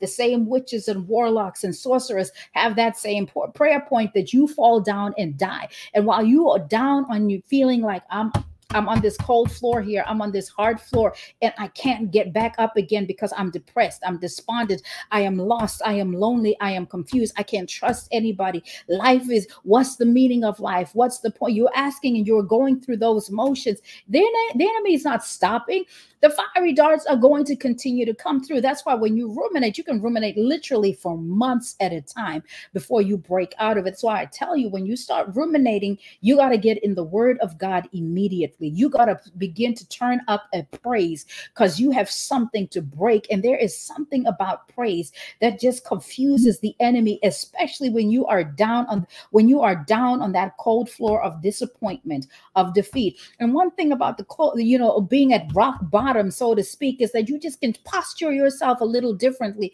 so that instead of lying down, you can actually fix your position in lying down so that you prostrate in worship, right? You can also position yourself to get on your knees and begin to pray, but you cannot and you must refuse to stay down. And what happens, and I know this is happening to quite a few people in this season that you feel like, listen, so many things are coming at me and I got my back against the wall and I don't know which way to go. There are so many contradictory messages. And one thing, like I talked a few a few weeks ago about those prophets of Baal, right? And Shannon talked about it too um, this past weekend and the one before that, I believe it was. But we see this uprising of these demonic altars that are being erected. And one thing that is really being released in this season and in this dispensation is that spirit of fear. You got to recognize that, oh, oh my goodness, oh, we World War Three. Yeah, yeah, okay. Rumors of war, right? Yeah, okay. Talk of war, rumors of war. Do not fear. Listen, the spirit of fear is really being released in this generation because even when you think about these social media people these uh, content creators a lot of things that people push out is they push out. And this where this where some some some some favorite some people's favorite prophets they operate in this too they were like, oh, okay, so and so did a video about this. Let me jump on that because they got 1 million views. So they're giving the appearance of godliness, but no power whatsoever because they're just copying to get the likes, the views. And so this is where that discernment is so important because even them they be loving love bombing you on their platforms and you got to be mindful because they say the right thing they, they they see what you're doing but you got to understand that as we get to the end of times and i've said this before we get to the end of times the spirit of jezebel is released again in the in the earth. It's in our it's in your bible and when the spirit of Jezebel is in the earth, you got to understand that there has to be prophets of Baal. So we know that there are false prophets all over the place. And that's why you see so many prophetic platforms. Am I saying that every prophetic platform is a lie and is, is driven by the spirit? Of course not, because they have to be Elijahs in that same season. And so we understand that towards the end of time, the spirit of Elijah is what is going to be in the earth, that, or, you know, we're going to see that. And it's there. We're seeing it. There are very, there are very um godly, right? Godly, godly platforms, godly people, godly ministry, godly churches. But there are those false ones. There are those false ones, and they are all love bombing people with these fake miracles, these fake deliverances, these fake healings, um, and all of that. All that is doing, right, is tying people down to these demonic altars. That's why you say, "Can't they see?" No, they can't see. The, the chain's gone over their eyes. They're blind now. But in order for you to also have some of these false prophets and teachers, they got to have the audience, right? And, and the Bible talks about the, your, you know, um, about the tickling ears, you know, wanting your ears tickled because people have the desire to have their ears tickled, because people want to hear that your kingdom spouse around the corner, it's your season, boo. New car, new house, new job, new this, new that. People have a desire to hear this. When we look at biblical prophets, they came to bring correction, they came to bring direction, they came with a prophetic word that told you to repent, for the kingdom of heaven is at hand. And not a single time they were prophesying other things. Now, is it wrong for them to prophesy? Uh, no. But I'm just saying, what does their foundation say? Test the fruits because that in itself is love bombing masses in this season. And so we're not going to fall for that. You're going to take your time and you're going to pray about what you listen to. And you're going to pray for who you listen to so that you are not deceived. Like the Bible tells us that, you know, we're sheep among wolves. That means you got to learn to live amongst wolves. That means you got to be wise. You got to be discerning so that you are not deceived right? Especially when especially when we're still in this journey of healing when we're still in this journey of growth when we're still trying to figure some things out. It's so important that you are sober. That's why those addictions those strongholds right? Wise as a serpent? Those strongholds because remember the addictions they come to desensitize you. You can't be you can't be listen the thing about it is if you're somebody that is that has an let's talk about an addiction to alcohol your mind is never going to have that moment of where, where you are sober and you can think because you're going to chase that next drink when you really think about alcoholics you can literally calculate the number of hours in a day or in a period of time where they're not where they're not drunk that means where their mind is sober. I'm just saying. I'm, I'm, and I'm not saying this because oh I'm just uh, I got a mouth I can talk, but I've seen it. I have alcoholics in my family. I know how they work, right? I know how it's very hard to have a conversation with them because they're always drunk right?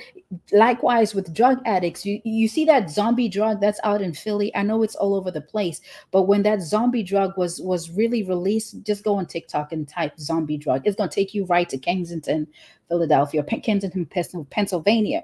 You they are doped up there is never a moment where they have the opportunity to be to be sober because once it's in their system literally that's it so how this is how the enemy wants people. This is how the enemy is working. He's he, this is how he's come to steal, kill, and destroy the bloodline.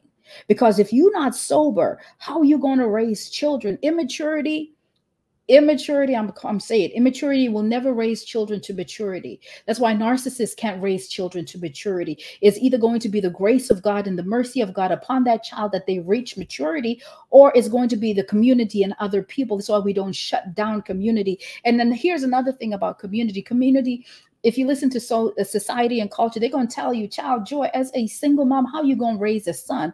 But praise God for community because there are voices and there are people that are able to step in and help me in this journey. Not only help me practically and physically, but pray with me and pray for me, pray for him and pray for, you know, with me for him. So this is why community is important. You listen and community going to tell you, you are a man trying to raise a woman, how you, a, a little girl to become a woman, how you going to do that again?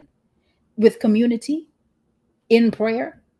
Don't allow and this is the this is another thing about that spirit of fear. It's going to tell you that i don't want to be a single mom so i got to stay here and continue to be beat down. You're a single mom. Went through it but thriving okay? Is is is everything peaches and cream? No but is life peaches and cream for anybody? Because if we're all honest there are things and there are seasons in life. Like life happens while we live but it's peaceful there is unity, there is love in the home.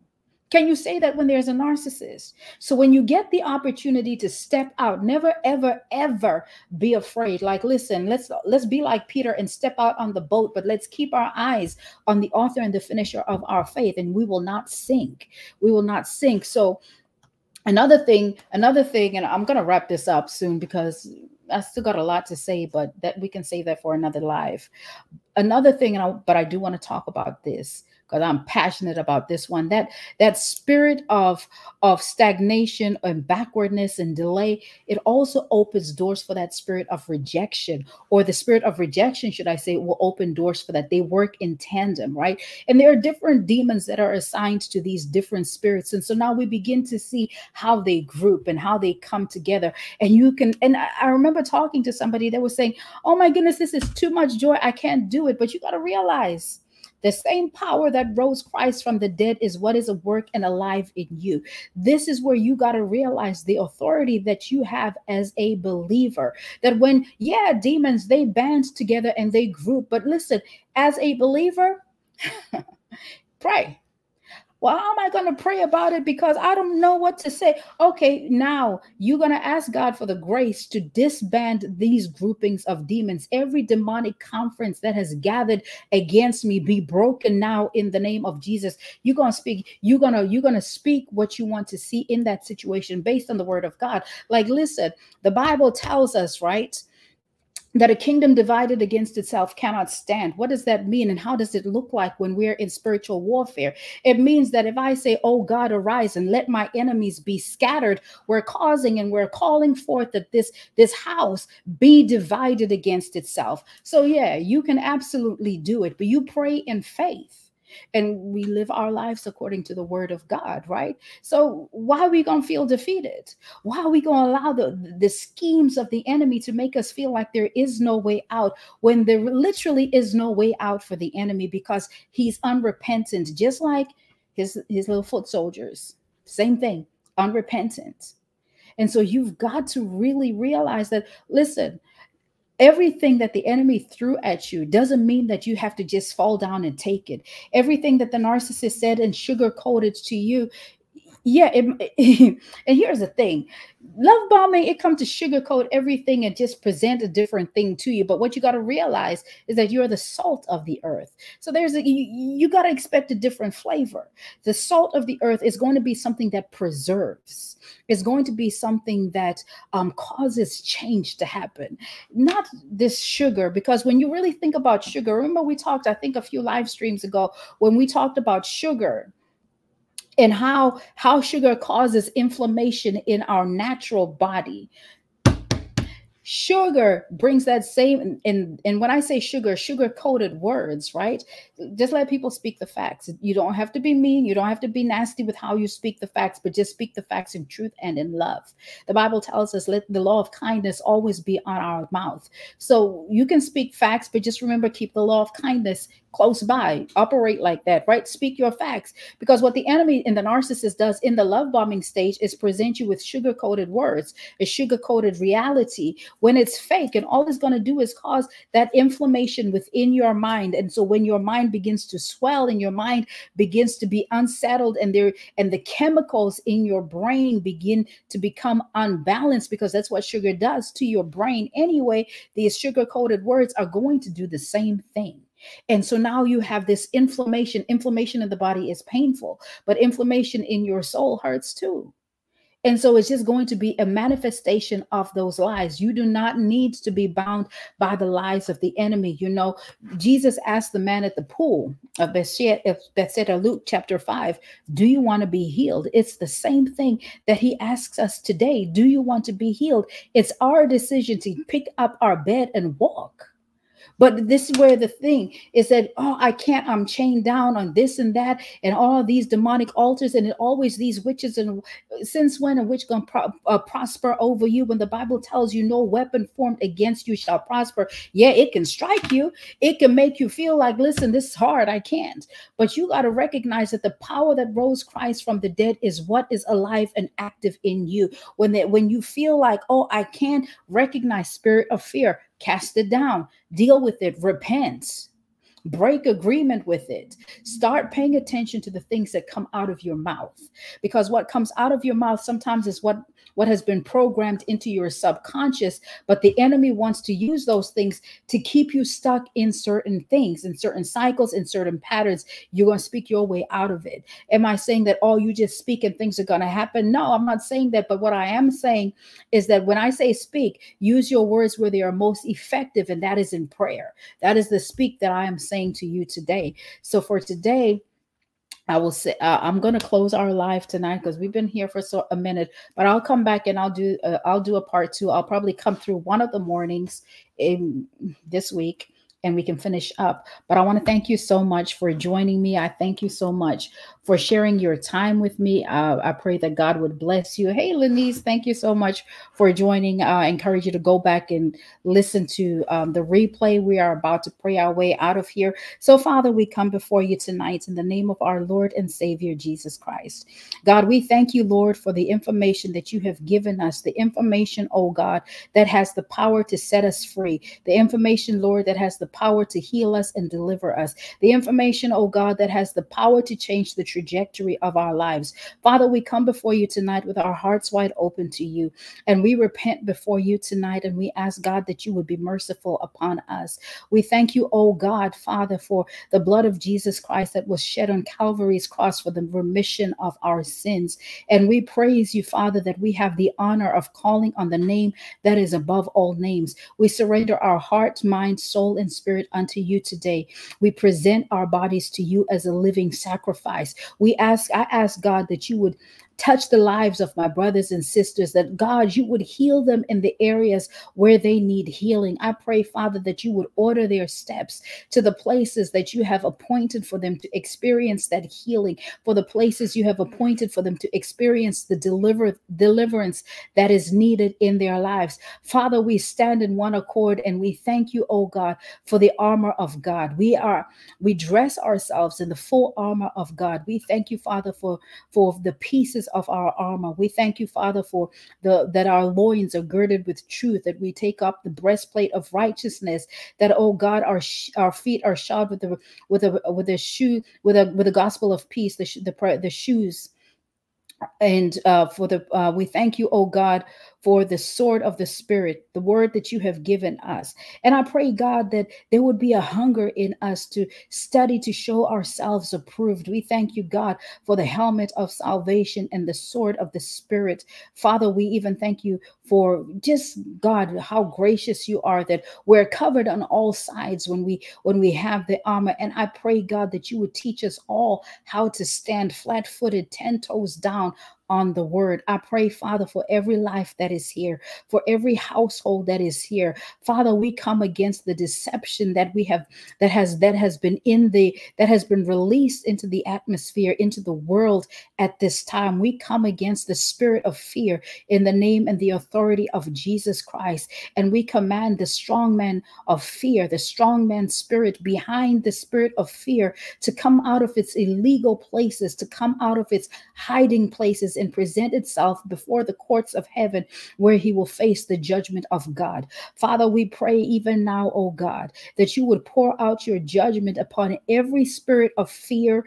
torment, backwardness, um, delay, stagnation, deception that has brought disruption into the lives of your sons and daughters. I pray, Father, that you would begin to begin to maneuver in their hearts. That father you would illuminate the truth of of who you are to them. I pray god above all that they would they would seek you while there is time. I pray father for that hunger and that thirst after righteousness the hunger for your word the hunger for your truth. For we know that your word is a lamp and a light. And i pray father that you would continue to heal them from the secret things. Some people don't talk about what they've been through but praise god that you have seen absolutely 100% of all our lives. And so you know the hidden pain, you know the secret pain. We come to break agreement tonight with the spirit of shame. We destroy spirit of shame. We uproot it now in the name of Jesus. We call it out. We cast it down tonight. We declare that, Father, we will not walk in shame. We, we will not walk even in toxic shame. We break agreement tonight with a spirit of anxiety. We refuse to be anxious because your word told us that we are to be anxious for nothing, but in all things through prayer and supplication. So, God, we even repent for those things tonight. We break agreement with anxiety tonight. We will not be anxious, even as news channels continue to, to hype up and play on people's emotions. Father, I pray that your sons and daughters would begin to recognize when they are being manipulated emotionally. Oh, God, I pray that you would arise and cause their household enemies to be scattered in the name of Jesus. I pray in the name and the authority of Jesus Christ that every tormentor would receive the torment. Let them fall in the pits that they have built for your sons and daughters. And when I say tormentors, y'all, I'm talking about the spirits that are at work here. The devil didn't come to play nice with you. The devil didn't come to to to to throw little things at you. He came to steal, kill, and to destroy. You got to understand that the enemy came, and when the enemy came in, he came in for for for your life. He came in for the bloodline. So why are we going to be why are we going to be afraid to actually pull out those fiery darts that the enemy sunk into our backs and and and, and send them back to where they came from? So God, we pray that every fiery dart that is being projected into our lives, we command them now to turn around and boomerang right back to where they came from in the name of Jesus. Father, I pray for the brokenness that is felt because of the deception. Father, I thank you that when we call on the name of Jesus. We call on the one who is able to heal, restore, and redeem. And I pray that you would touch the lives of your sons and daughters. I pray that you would begin to take them not just to a place of healing, but God to a place of wholeness. Father, we are seeking you for restoration on tonight.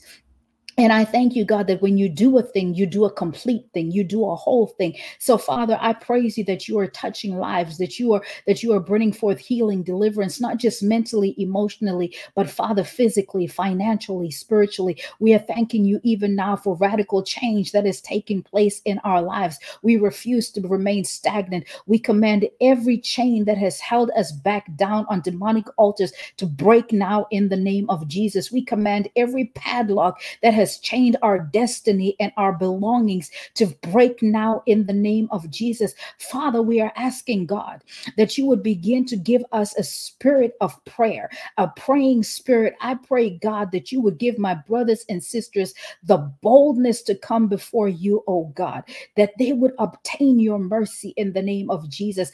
Father, I pray that they would begin to pray bolder prayers, that there would be no more limitations. I come against that spirit of prayerless I come against that spirit that says, I don't know how to pray. And we break it now in the name of Jesus. I disconnect my brothers and sisters from every demonic altar that has held them down. We destroy it tonight. We smash it with the hammer of God. We command it to fall down and die. We command that every fiery dart that has come our way go back to their senders in the name of Jesus. We break agreement tonight with the spirit of fear. You told told us in your word that you didn't you did not give us a spirit of fear, but Father, we will walk in power, love, and a sound mind according to your word. We refuse to be defined by the limitations of man, by the limitations of trauma. We refuse that, oh God. And we will and we boldly say that we are who you say that we are. Father, I pray that as you move in the hearts of my brothers and sisters, that you would touch every life that is connected to them. We bring our households under the blood of Jesus Jesus tonight. I pray, God, that you would soak and saturate our homes with the blood of Jesus. Let the blood of Jesus drip from the ceiling right down to the foundations of our homes. In fact, let it drip from the roof, the roof right down to the foundations of our homes. We apply the blood of Jesus by faith to every doorpost in our home. And we ask, oh God, that you would watch over our homes tonight as we go to sleep, as we step into the spirit realm tonight. We command that we command every every plot, plan, and tactic of the enemy to attack us in our sleep to fall down and die now. We will not be, we will not be shaken. We will not be fearful. I speak blessings over our pillows tonight. And I ask, oh God, for the grace to dream well tonight, for the grace that we would have the interpretation of our dreams. We thank you, Father, that no matter what the dream looks like, there is always a message that you are giving us that we can that we can take and we can learn for. So God, I pray for every dreamer tonight. I pray, Father, that as they dream, God, I pray that they would remember. We come against every dream erasing spirit tonight in the name of Jesus. We command you to hold your peace and get in your position, which is under our feet. We will not be shaken and we will not be moved. I pray, Father, that my brothers and sisters begin to flourish in their in, in their spiritual gifts. I pray for increased discernment. I pray for increased wisdom. I pray for the spirit of revelation to come upon them in a stronger way. I pray for the maturation of, our, of their gifts, oh God. And I pray, Father, the doors that they have been knocking on, let those doors begin to open. I thank you for open doors. I thank you, Father, for changing situations. I thank you, Father, for the favor that is coming upon them. I thank you, God, for your will being established and fulfilled in their lives. Father, I pray for everybody that will come and watch the replay. I pray, Father, the same prayer over their lives. And we just thank you, God. We remember those that are in that are experiencing, those that are in war-torn areas. We pray, oh God, for the those that cannot, the, the most vulnerable, we lift up the children before you and we cry out to you for mercy. We pray, God, that they would have access to the supplies that they need. We pray, God, that they would have access to the medications that they need. And above all, we pray, Father, that your truth would reach them, that your word would would would would provide them with comfort and peace in the situations that they are. We pray, God, that you would deliver them out of those situations the same way that you did the children of Israel out of Egypt. God, I pray for those those that are those believers, God, the blood bought believers that are experiencing war, that are experiencing the effects of war. God, we call on you, Father, to remember your children. I pray, God, that you would arise in their lives and cause their enemies to be divided against themselves. I pray that every plot, plan, scheme, and tactic of the enemy to destabilize believers right now begin to fall apart. I pray for the disintegration of the plans and the plots and the schemes of the demonic kingdom. Father, as the demonic army is getting, it appears that they're getting stronger. We speak division amongst them. We pray, oh God, that they would begin to fight against themselves, that Father, the very plans that they had to come forth, let them be confounded, that those plans would never come to pass in the name of Jesus. We declare this over our lives and our spiritual enemies and your enemies, oh God. May they never prosper in the name of Jesus. Father, we thank you that, Lord, in your presence we have fullness of joy. You said in your word that that um that we can lift up our eyes. Your word says i will lift up my eyes unto the hills from whence cometh our help. And so we lift up our eyes to you tonight and I pray, God, that you would help us to keep our eyes fixed on you, the author and the finisher of our faith. I declare tonight, God, that there, there is no other above you, and there is no other that we love more than you. And I pray, Father, that these will not just be confessions that roll off our lips, but Father, let it be the posture that you find us in. I pray against everything that is fighting us, our own proclivities, our own preferences, the things that we call standards, and the patterns that have been established established in our lives because of church culture. Father, we don't want church culture. We want hearts that are after you. So I pray, God, that you would crucify our flesh, crucify our desires. We want to die to self tonight, oh God.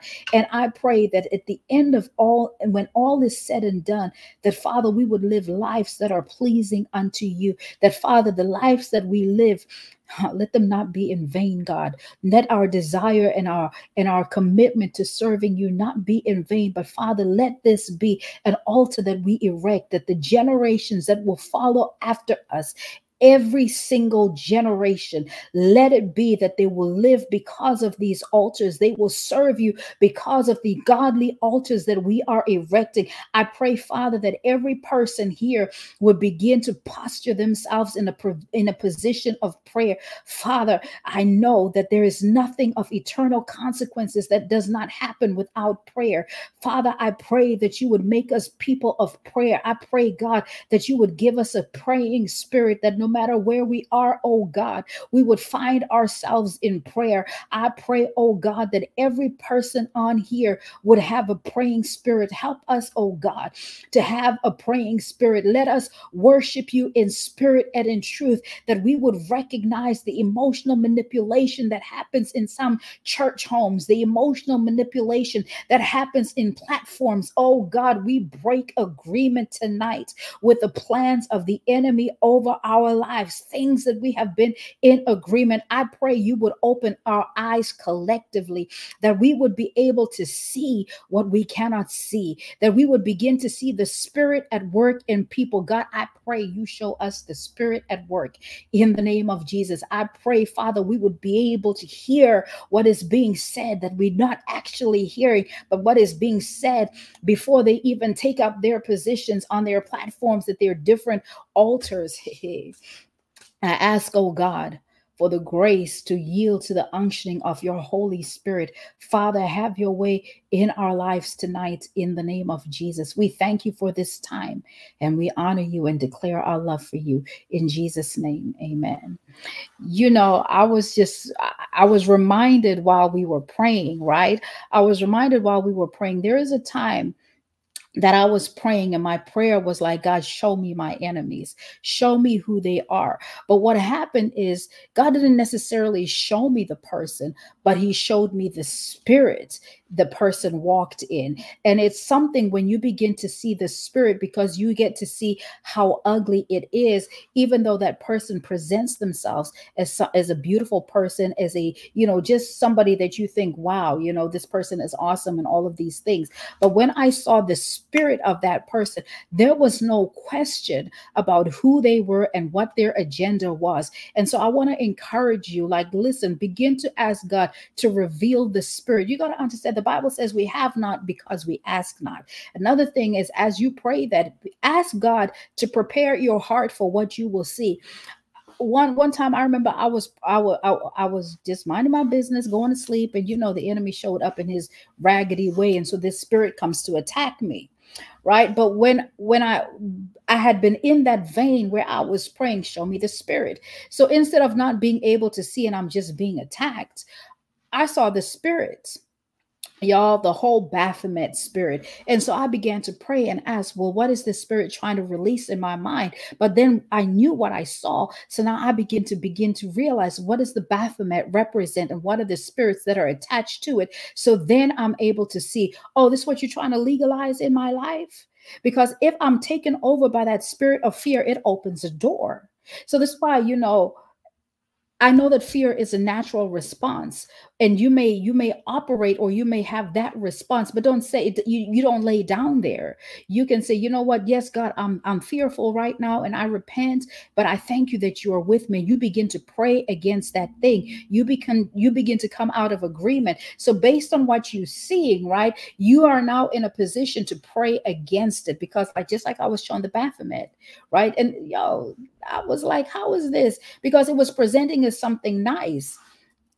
And so now I see the spirit and I'm like, okay, okay, now I know the work that needs to be done. And it's not that it's a one time prayer. Sometimes you're going to have to pray some things for a season, but allow yourself to do those things because the more you pray, the more you are building your godly altar, the more you are investing in, in the lives of the generations that are coming after you. Because the more you pray, right?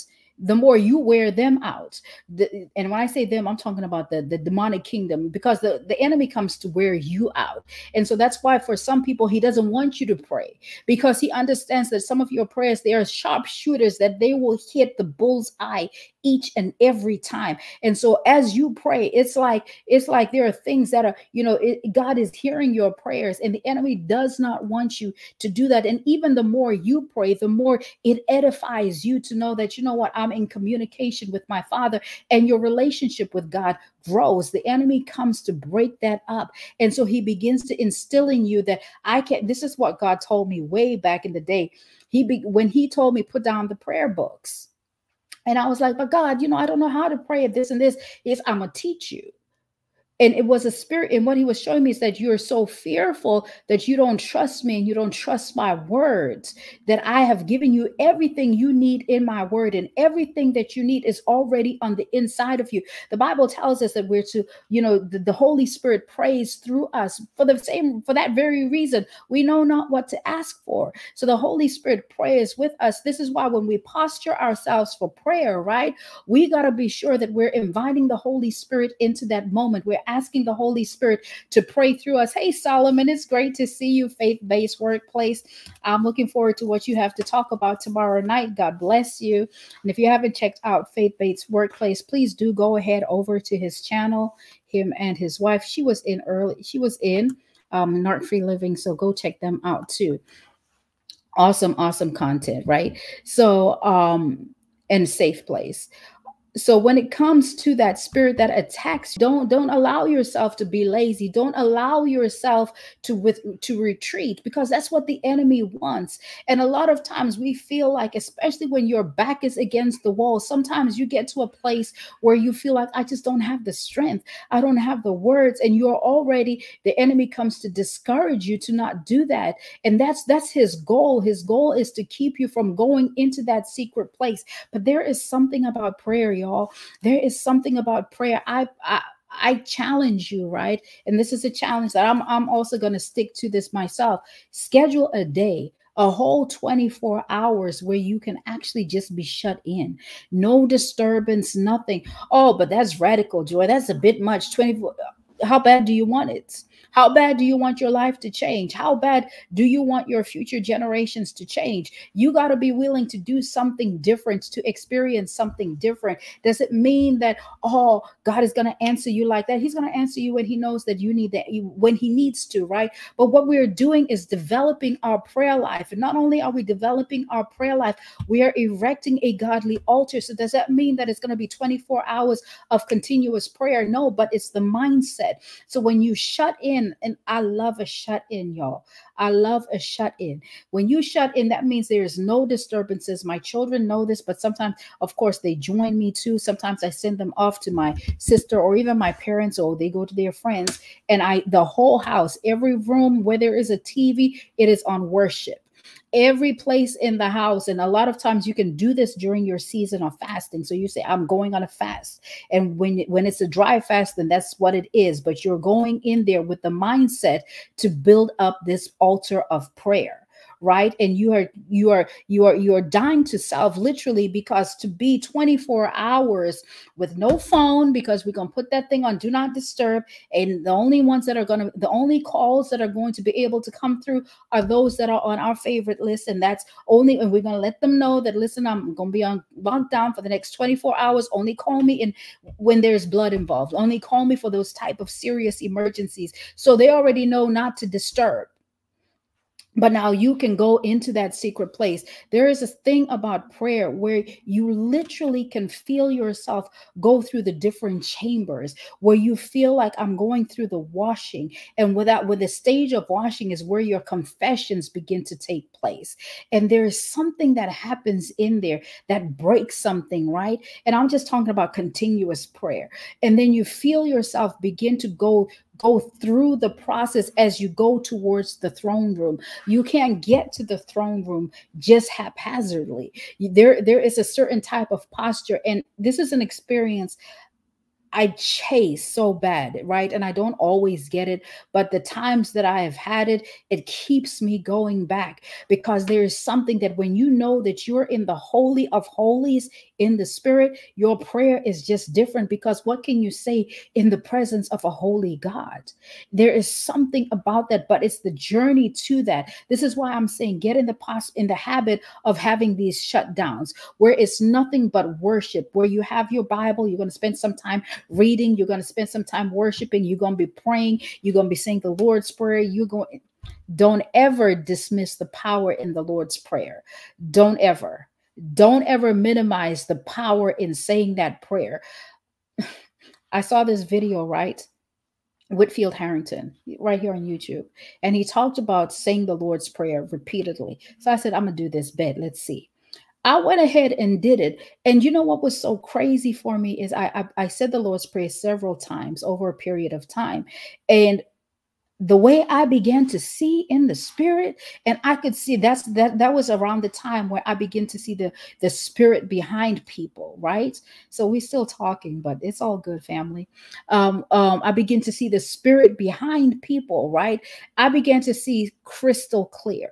So what I'm saying to you is when you go in for that 24 hour prayer, and you don't have to start at 24 hours, start where you can, if it's 12 hours or whatever, but we got to build it up because you got to understand that the enemy is fighting you tooth and nail. The enemy is fighting you. And we're not going to pray to fight the enemy. We're going to pray to draw closer to our God. We're going to pray because we this is what this is what it is. This is what it takes to be a disciple. We're going to pray to seek the heart of God. We're going to pray asking God to change us, right? We can all change. It doesn't matter where you are, what level you think that you are or how good it is. There's always another level. That's why it goes from round to round, right? And if we and if we had reached the pinnacle of where we're supposed to be, then we would be we would have gone home to glory because what good are we, right? So, what I'm trying to say to you is build an altar of prayer because this is where we lay the foundations, right? And for me, I take this personally because I listen to people's stories where they talk about,